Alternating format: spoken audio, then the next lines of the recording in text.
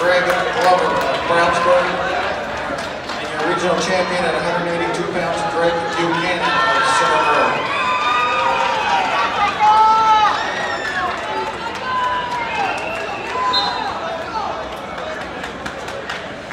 One man forward, 220, Micah Dodson of Martinsville will take on Leighton Jones of Brownsburg.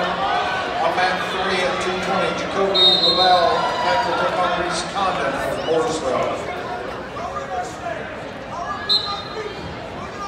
I need the top four finishers for the 195 pound weight class to the awards area at this time.